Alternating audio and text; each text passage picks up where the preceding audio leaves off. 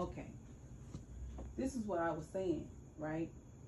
If I got you as my man, right?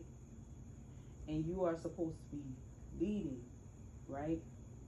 You already know I'm business oriented, right? Mhm. We got a family. Right. What messes it up a lot of times is when the man and say I'm dealing, you know, I'm, I'm dealing with the man, I'm dealing with the man, he dealing with other women. Then you start dealing with other women, then you come to me about all the problems they brought to you concerning me. So by the time you come to me with all the problems that you have with me, it's new to me. You understand what I'm saying? Mhm. So everything will be good over here. At least I think it is. At least I thought it was. But then you come to me with all these problems whole time. You got a whole nother chick you entertain.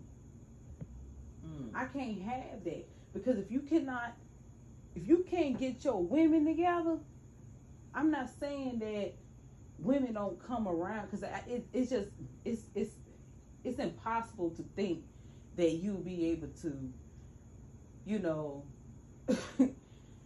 you know, throw bowls on every female. I, I I honestly feel like that, but you know, you can't if you got somebody attractive, even if you if you deal with somebody who ain't, you know, they just decent.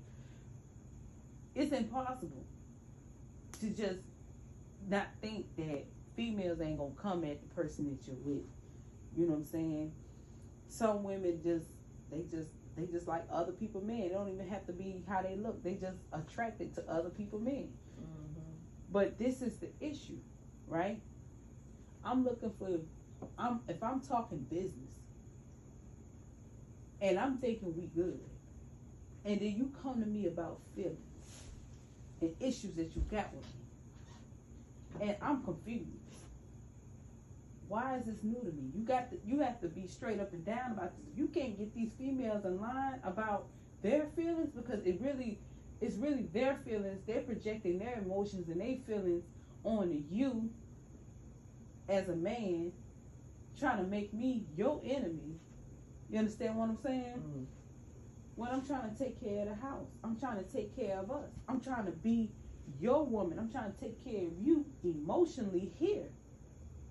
But if you got everybody else entertaining your emotions, how can I be that woman for you? If you got if you can't handle the business, you can't keep our assets assets.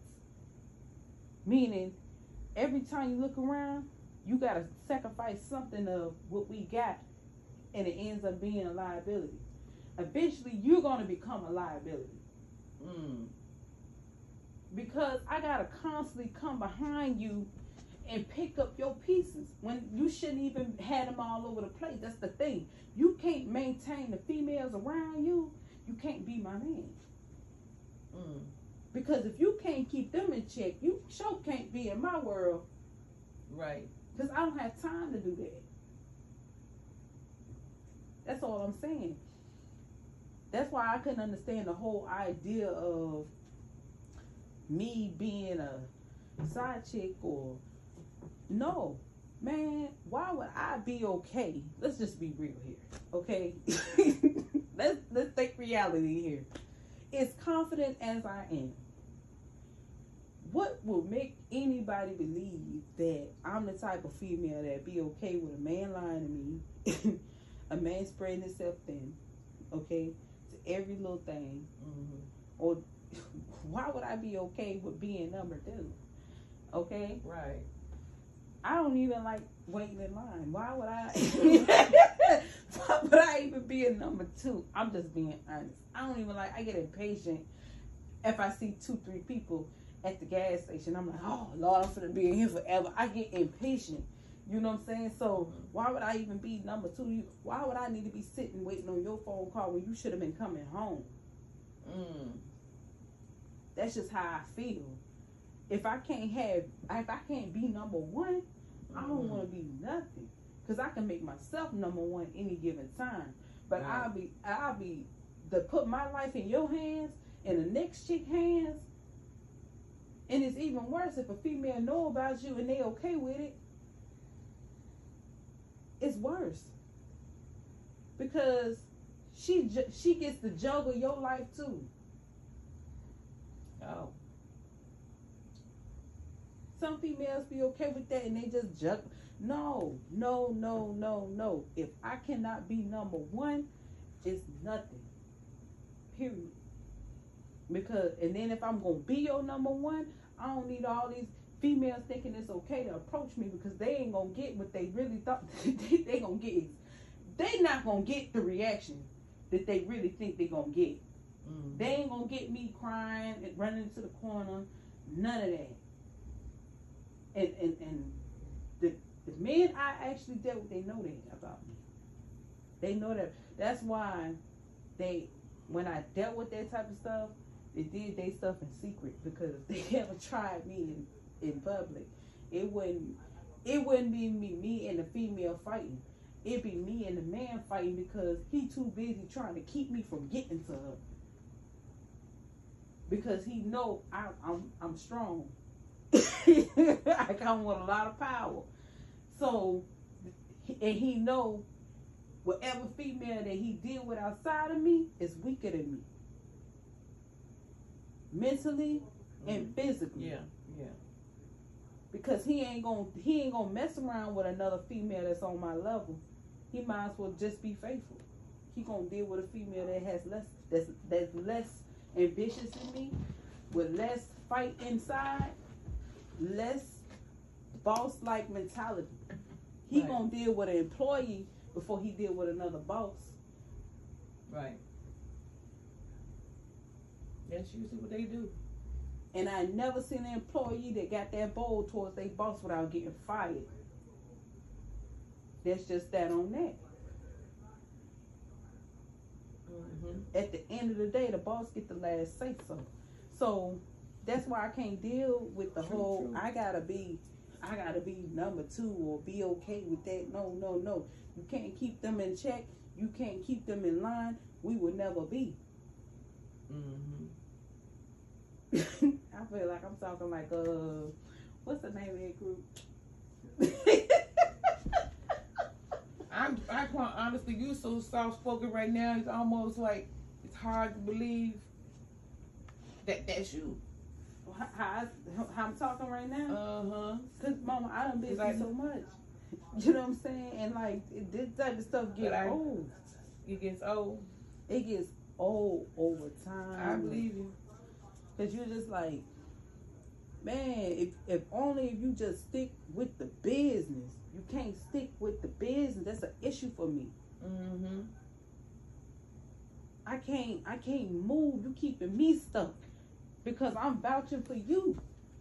Yeah. I'm standing behind you. But if you keeping me stuck, then I mean, the first person you gonna blame is me. But there's no way around nobody looking at you because you were supposed to lead. Right. It's it's, it's crazy because you know you got a lot of people who call themselves bosses in boss positions, but not operating like a boss. But then you got people who not in boss positions but think like a boss. Mm. But that's because, you know, it's a lot of favoritism and stuff like that. Then you got the other half where, you know, people weren't really just taught proper ways. I had to learn the hard way about gratitude and really do my own, you know. But but then you got that one corner of people that just want to keep their foot on your neck. Yeah. They don't try. wanna, they don't want to look out for you because, you know, they could have helped you. They they might want to help you, but at the same time, they don't they they don't want to help you because they they see that you're doing great, but they afraid that you might reach your highest potential and surpass them. But if you're confident in what you do, that shouldn't bother you at all where a person is in life. Never compare yourself to other people That's what people mess up at. When you start Yeah. comparing yourself to other people and thinking like, well, look at what they're doing or they're not doing this and look at that and you start trying to pick things apart, you lose focus on yourself and you're not going to reach your highest potential. Because you're too busy trying to compare yourself to somebody else. After a while, you're not even going to look like yourself no more. You're going to look like the person that you're trying to compete with instead of yourself. Most people who are in high positions are their authentic self. They are confident, and somebody saw something about them that Mhm. stood out the crowd that nobody else ever seen, Right. And they liked it, and they they they wanted to work with them. But then Mhm. you got people who feel like if they do what everybody else do, and they like how they made it. Well, they made it because they was themselves. You might have the mind frame of a boss, but you were too busy worrying about what everybody else think. Mm, can't be that. Can't be no boss like that. Because you gotta constantly keep up with ideas. You gotta constantly stay relevant. You gotta constantly keep things going. You gotta stay focused. You gotta constantly be motivated. You gotta stay resilient. You gotta stay on top of your game because it's always gonna be somebody that's just gonna come in and stick their foot out while you're running. Hoping you will trip up and get mad when you catch yourself. Mm-mm-mm. You know what I'm saying? Yeah. So when stuff like that happen, man, you just gotta watch out for people like that. But you got people that may be in high positions, but they're not happy. But the reason why they're not happy is because they were comparing them. They they might they might have started off themselves, but they got in certain crowds or you know they had this you know they're saying like don't forget where you came from there's nothing wrong with never forgetting where you came from it's just an issue when you go back you know what i'm saying i'm just it's a- right. it is an issue when you go back because if you it's it's one thing because never forgetting think about it, that's psychology you, you that's in the mind it's consciousness Gratitude. don't Mhm. you know, you don't forget where you came from Yeah. because where you came from is what made you. But at the same time, if you go back, you're gonna go back into a lack mind state of mind or mind frame or whatever, and then you're gonna Mhm. you gonna too you too busy trying to help everybody else. It's kind of like if you had one loaf, one one slice of bread, you was sitting around six people, right? And you have to break bread with everybody in the room because everybody hungry. How much you gonna be able to eat? Not much. But if everybody went out there and got their own bread, everybody will be able to eat. It's Right. one thing if I feed you, but it's another thing if I gotta keep feeding you where I run out. Right. Exactly. You over there getting fat, but you ain't trying to do nothing. Yep. Yep. You know what I'm saying? You don't got no ideas. your mindset always negative. You too busy trying to pick apart somebody else. You ain't trying to see like I ain't at least uplift me when I'm down. That's what I'm saying. That's how I feel like at least At, at least. because if I if I can't if I can't even depend on you to even be a positive person in my life, at least you considered a liability. I cannot keep you around. Right. You cannot stay. You can't stay where I'm going. You can't go with me where I'm going. Where I'm going is nobody's concern to be honest because everybody have their own path. Right. Where God leads you is where God gonna lead you. But this is the issue. When people think that a certain person have to be that way, and it's not the case. It's not a, God in particular just pick a certain person to do certain things. Everybody have the potential to get to where they're going. They just have to open their mind up a little bit and get up. Yeah. Everybody got the same 24 hours. You're not trying to get up and do what you need to do to make things happen, then what you expect? If you get up doing the same thing every single day, you ain't made no changes, you ain't learned nothing new, you didn't read up on nothing new, you didn't see things from another you didn't even went outside to even breathe the air God even made.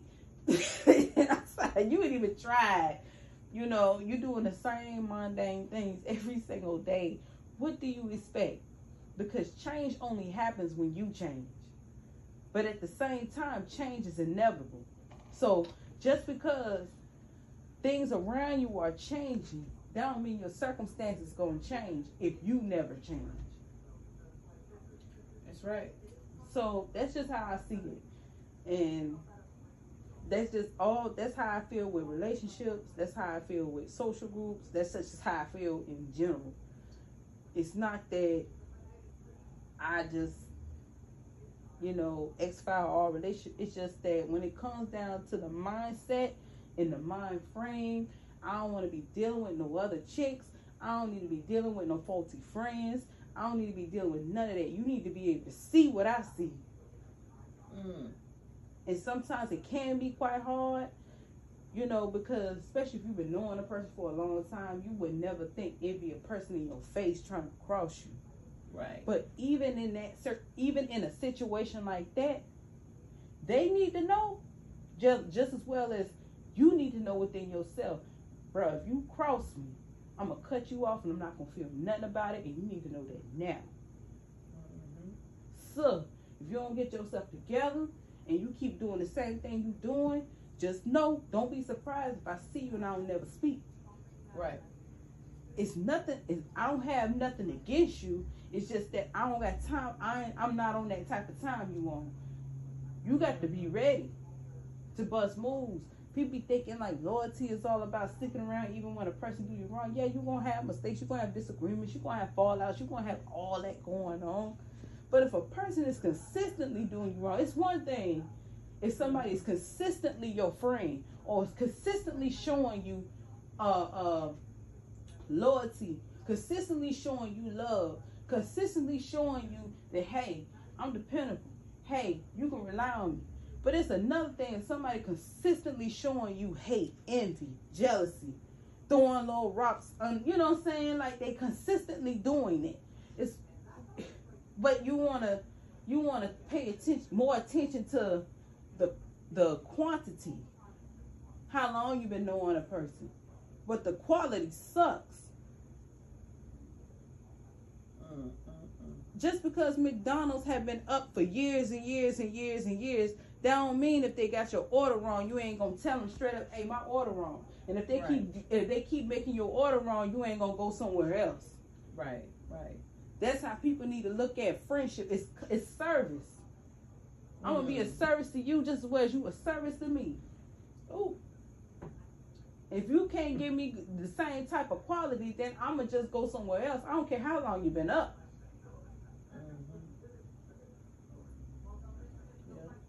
Who you are, what you are means nothing to me. It's always somebody else that can give me the same opportunity. True. And that's just how I feel.